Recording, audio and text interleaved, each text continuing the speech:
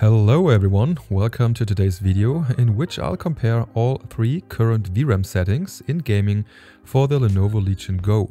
As of the making of this video, Lenovo just released a beta BIOS that also offers 6GB VRAM, which I didn't use, and maybe we can find out in this video if it would make any sense at all to use 6GB of VRAM for the Legion Go. If you want to change the pre-allocated VRAM yourself, you have to press and hold the volume up key together with the power button when the Legion Go is completely powered off.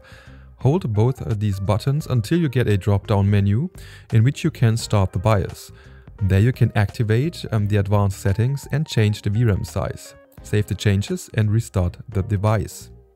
Now I was running all these tests with the 30 watt custom turbo mode while the Legion Go was plugged in and I recorded the gameplay with a capture card on a separate PC. First I tested some games at 720p and later at the display's native resolution for some more demanding games in combination with FSR. PS, if you want to keep track with my current Legion Go special series, make sure to subscribe to the channel for more Legion Go content as well as gaming laptop reviews and GPU benchmarks. And without further ado, let's just jump right into the first game for today, which will be Baldur's Gate 3. And here we are actually seeing the worst case scenario of what can happen if we assign 8GB pre-allocated VRAM for the Legion Go. The game just crashes after a few seconds of gameplay. Now, why is that? If you assign 8GB of the total 16GB as VRAM, Windows and the game itself only get 8GB of RAM for left for anything else and in the case of Baldur's Gate 3, this will lead to crashes. I double and triple checked this and it happened every time, but only with the 8GB setting. Despite that, there was a small difference of 2 FPS for the average FPS between the 3 and 4GB setting, which is almost within the margin of error, whereas the 1% lows aren't noticeably affected. In Microsoft Flight Simulator on medium settings at 720p, there seemed to be no measurable difference between the three settings like at all. Similar frame times, almost identical average FPS.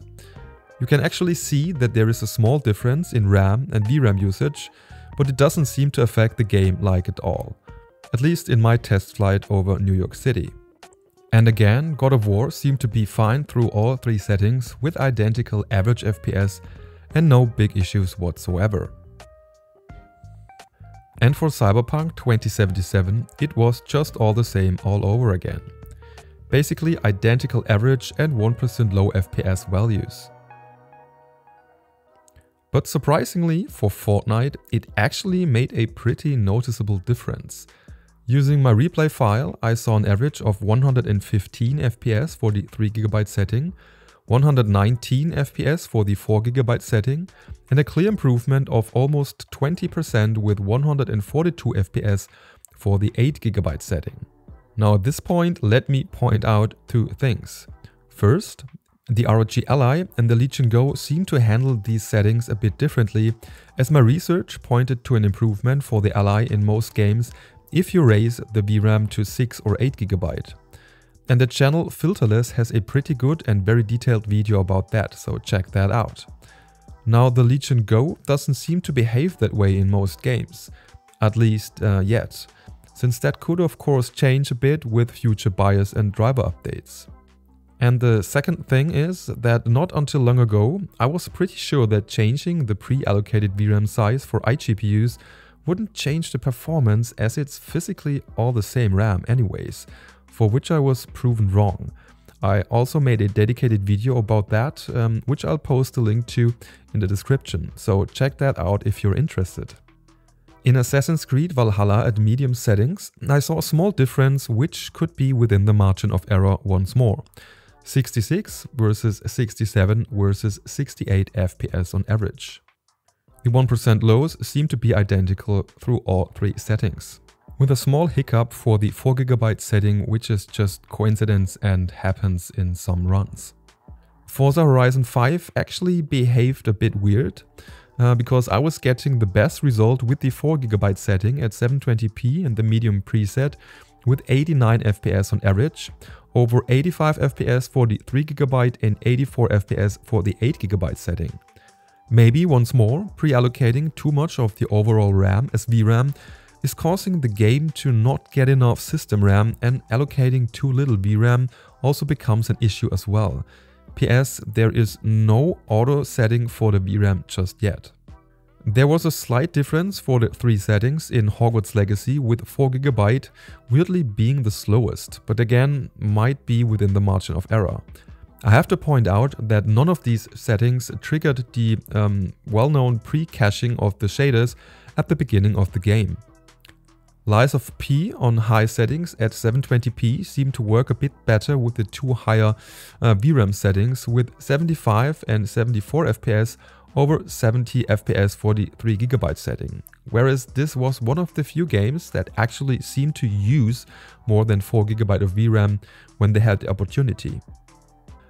I was afraid that The Last of Us would even load a save game with only 8GB system RAM left, but it worked and there actually was a slight difference between the three settings again. 45 versus 47 versus 49 FPS on average with a pretty solid 1% lows for all three of them. And I'm not surprised that The Witcher 3 doesn't care at all about the RAM since it's a pretty old game that never needed a lot of RAM or VRAM to begin with. So there is literally no difference between the three settings whatsoever. And now let's have a look what happens if we choose the Legion Go's native resolution, which is 2560 by 1600 pixels. For these tests I was using FSR on balanced or even performance mode. Now contrary to the 720p test in Forza Horizon 5, this time there was like no difference at all between the three settings. Though let me point out that the average FPS were significantly lower on 1600p with FSR than at 720p without FSR. For Hogwarts Legacy at 1600p and low settings, with FSR balanced, there was a noticeable hit on the 1% lows and the game became definitely more stuttery, especially for the 8GB setting this time around. I also fired up Starfield for the 1600p test at low settings with FSR and a resolution scale of 50% and saw, well, basically no difference at all once more. PS, in order to get this game running, you have to install the newest drivers from the AMD side, which are the drivers for the Ryzen 7 7840U and you have to use a workaround and there are videos how to do that on YouTube if you're interested in playing this game because with the standard uh, drivers you can't play it as of now. And last but not least, The Last of Us seemed to run a tiny bit better with the 8GB setting at 1600p with 31 versus 31 versus 33 FPS on average and it really used a lot more VRAM as you can see here. But again, the average FPS might be within the margin of error.